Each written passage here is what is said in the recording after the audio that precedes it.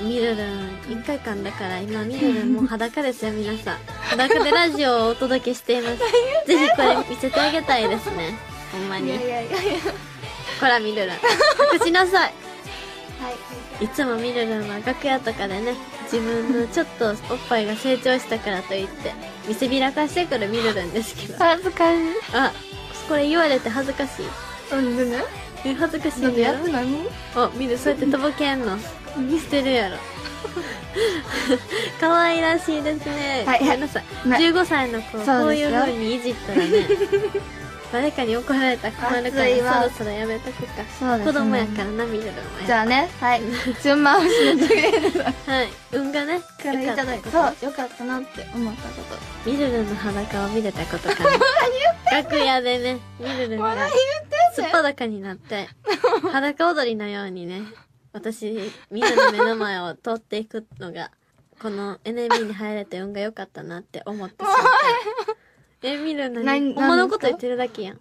そうですね。ほら、はい。ほらみんな見れるんがこのてっぺんラジオで正体を明かしてきました。こら！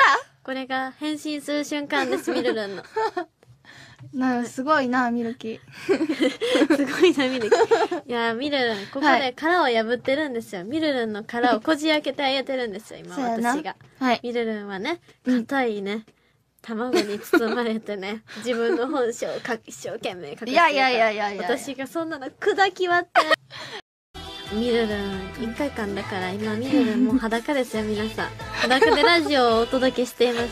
ぜひこれ見せてあげたいですねほんまに。いやいやいやいや。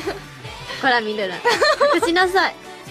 はい。いつもミルルンは楽屋とかでね自分のちょっとおっぱいが成長したからといって見せびらかしてくるミルルンですけど。恥ずかしい。あこれ言われて恥ずかしい。うんでねえ恥ずかしいやろ？やって何？あ見るそうやってとぼけんの？してるやろ。可愛らしいですね、はいごめんなさい、ね15歳の子こういうですよ。風にいじったらね。誰かに怒られたら困るからそろそろやめとくか。そうですね。子供やからな見るのもじゃあねはい。順